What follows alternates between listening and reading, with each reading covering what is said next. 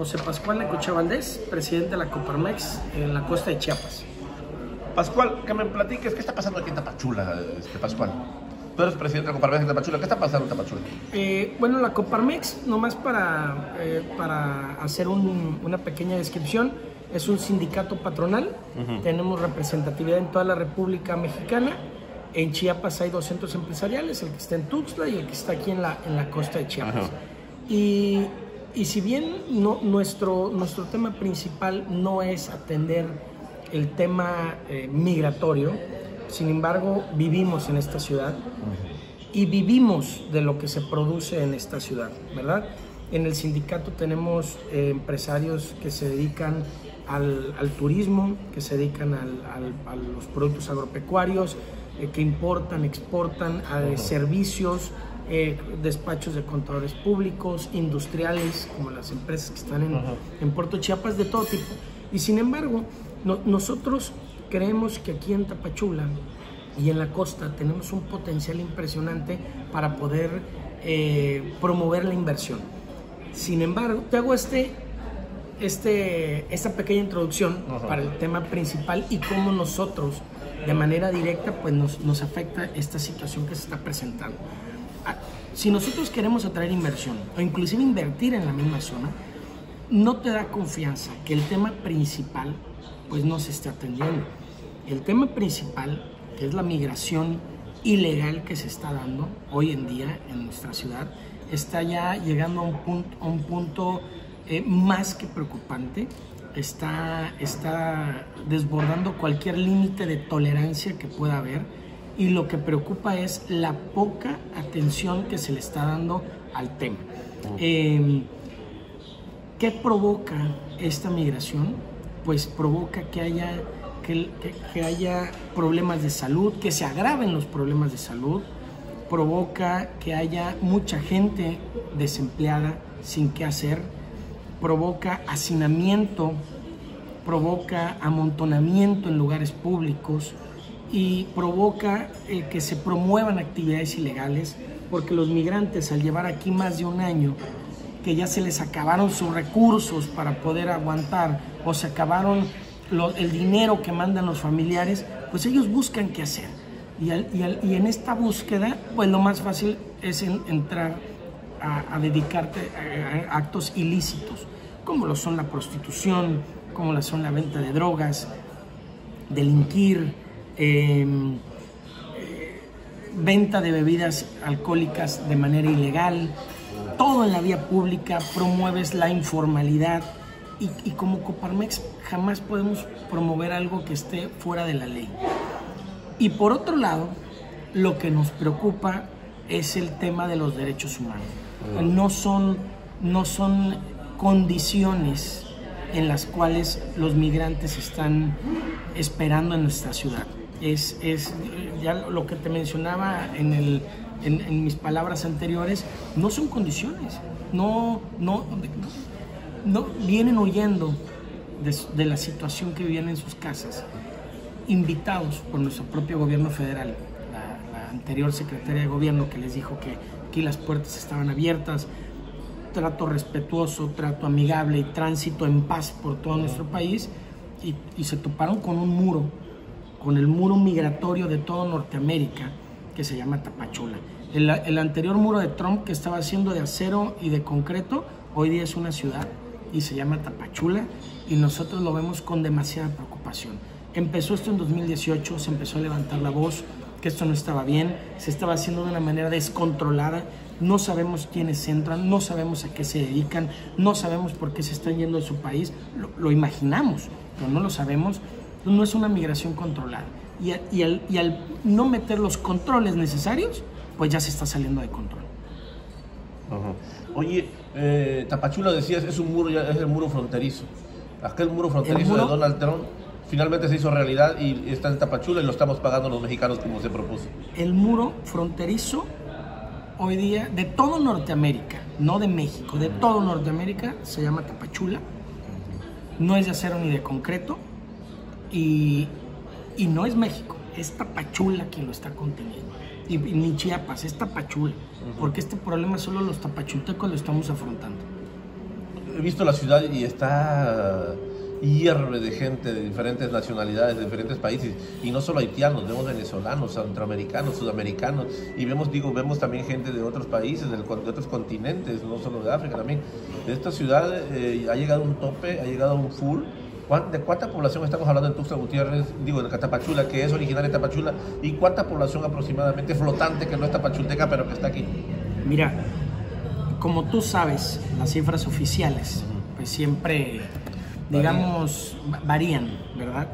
Eh, lo que reporta el ACNUR, que es el Alto Comisionado de las Naciones Unidas para la Atención de Refugiados, reporta 70 mil, pero nosotros estimamos que son más de 120 mil en una población de 360 mil habitantes. Imagínate, estás hablando de un 33% de la población que tenemos en el territorio tapachulteco. Es demasiado. Si tú, lo, si tú lo extrapolas a los 120 millones que somos en México, es el 1%. No pinta. No, hombre, el punto 1%. No pinta. Pero para una, una población de 360 mil, sin la infraestructura, sin las condiciones, pues por eso viste lo que has visto en los últimos días. De por sí los servicios públicos para tapachutecos no eran los óptimos y ahora con esto de por colapsan. exactamente. O sea, los servicios públicos de Tapachula eh, desde que se hicieron, desde que se diseñaron, fue diseñado para una población de 300 mil habitantes. ¿Y cuál ha sido la actitud y el papel de las autoridades municipales aquí en Tapachula, o del gobierno estatal o del gobierno Mira, federal? nosotros hemos, hemos buscado el acercamiento porque es la primera instancia que tenemos aquí. La alcaldía, ¿no? La presidencia municipal. Por supuesto, pero y están muy preocupados.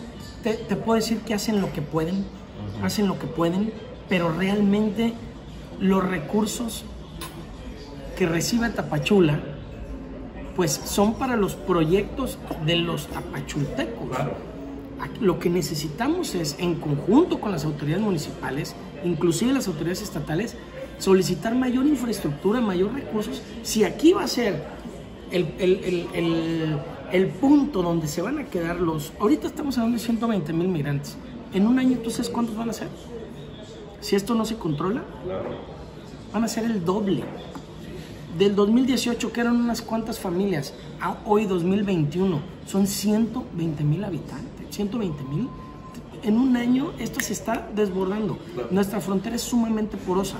Pero sin desviarme lo que me preguntabas del ayuntamiento, yo veo que hacen lo que pueden. No es, no es, justificar, no es justificar, pero no hay policías suficientes, no hay, este, no hay agentes suficientes. Yo más bien te diría, ¿dónde está migración? Que es, el tema de migración, Instituto Nacional de Migración. ¿Dónde están ellos? No los vemos. O sea, los, migrantes ya aprendieron a, convivir con los agentes de migración que, no hacen nada. Oye, eh, y si no pueden hacer nada, creo que lo más correcto es que digan que no pueden hacer nada. Decir que necesitan ayuda para empezar a atender el problema. Eh, hay una población eh, tapachulteca que se está beneficiando directamente con el, con el tema de la migración. Es decir, a lo mejor los, los bancos, los, los, que tienen casas de cambio, a lo mejor los este los que rentan cuartos vecindarios. Los que reciben remesas. Hay, los que reciben remesas. Hay una población que se beneficia de la migración, pero también hay una población eh, que directamente beneficiada, indirectamente beneficiada, pero también hay población que ni se beneficia ni directa ni indirectamente y también lo, padece para, ¿no? Eh, ¿Esto que tanto ha alterado la economía tapachulteca, para bien o para mal?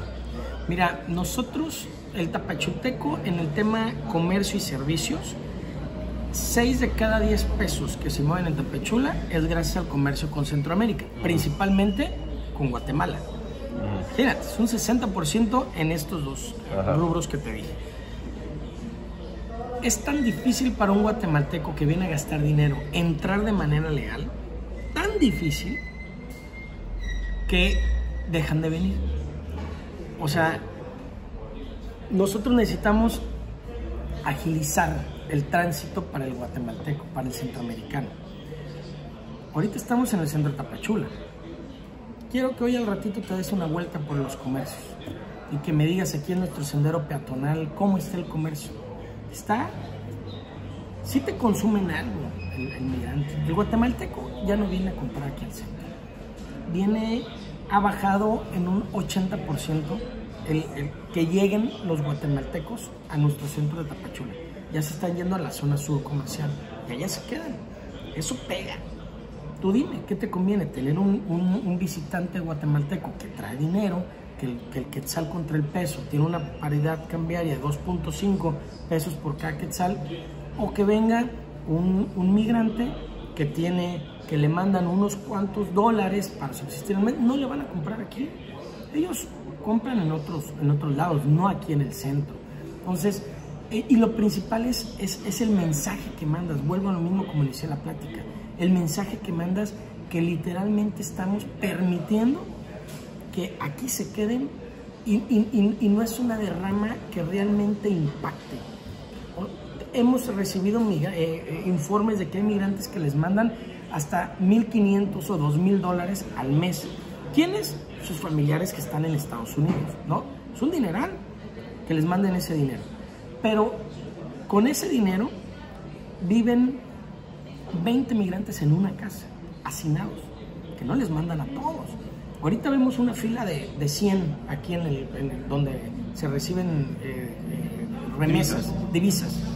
De 100, pero en las calles hay miles, miles. O sea, no, realmente no impacta. El, el- el- el- daño a la economía es mayor que el beneficio.